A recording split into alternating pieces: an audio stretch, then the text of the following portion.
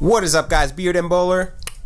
We have got to get new gear. So we are going to where you get new gear at. Like the only place you get new gear at. B&H Photo Video in New York City. It is Cyber Monday. We have ordered a lot of stuff, but we didn't select shipping. Even though the shipping was free, which is awesome, we selected in-store pickup because these guys have never been to B&H before. I got a lot of stuff in my cart, so this should be pretty fun.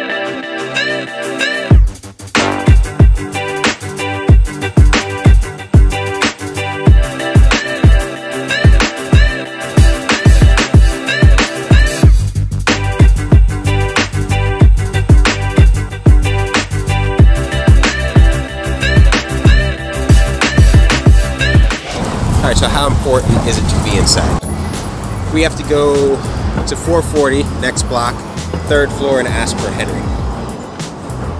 Tell him what we're doing. See what we do to try and bring the best B-roll possible to you guys. We will walk an extra 200 feet.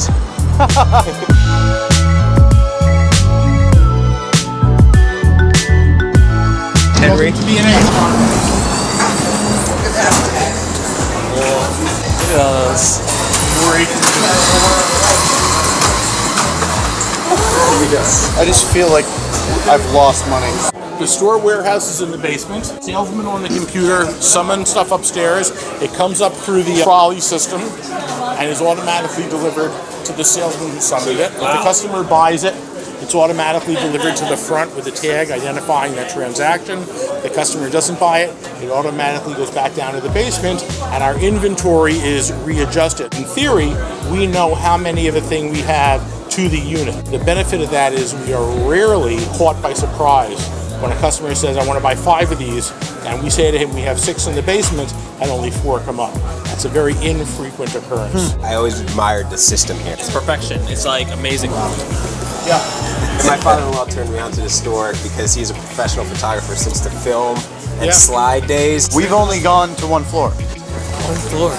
This is this is the stuff I've seen on videos and I've actually seen it in person.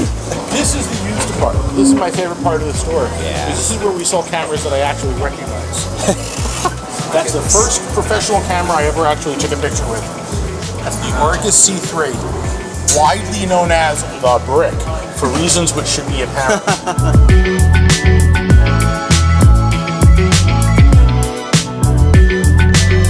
Look at this. Television. Look at this TV wall.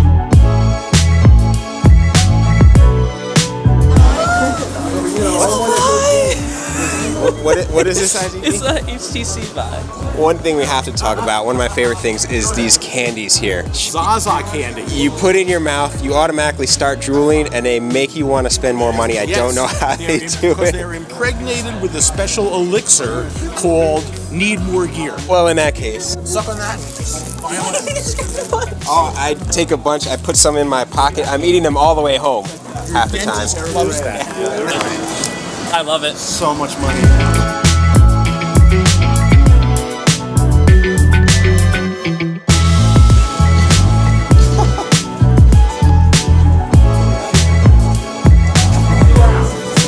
Every department we're in, every product is supported by the accessories. We are very big on accessories.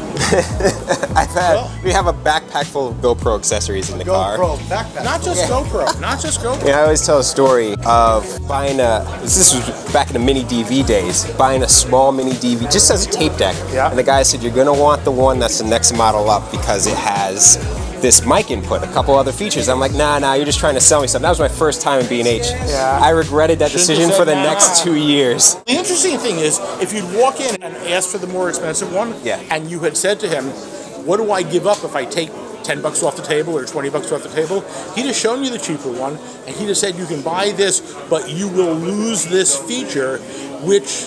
Some people really like. Everything we sell has a feature or a special setting or a menu option that almost nobody ever uses, except for the one guy who does. for the one guy who does, it's indispensable. Yeah. There are products that we sell, like the recorder you bought, Yeah. where the less expensive one is less expensive, but the more expensive one is often a worthwhile and prudent investment in your future contentment and happiness. Yep. And I'm very big on the contentment and happiness. They gave him a name tag. His yeah, name's that's that Manny. Man- That's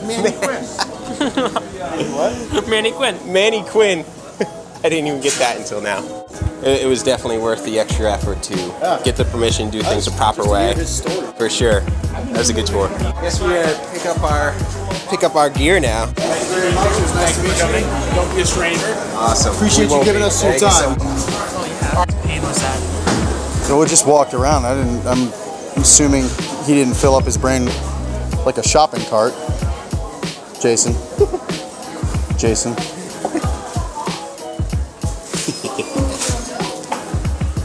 cool store. There's there's a lot of gadgets here I don't understand. I don't.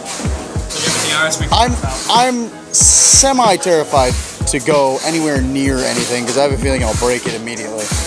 Probably pick it up and start juggling it, and then That will absolutely happen. there goes our bank account. Go down here. Uh, web pickup. We're gonna need all hands on deck available to carry these bags. No. I don't want to see it. Better make us money. Make me happy. I am unconcerned with your happiness. Here. Thank you.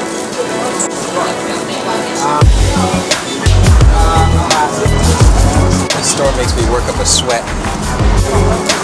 Hold show out. What am I holding? All right, guys. The next time you see us, we will be on a brand new camera system.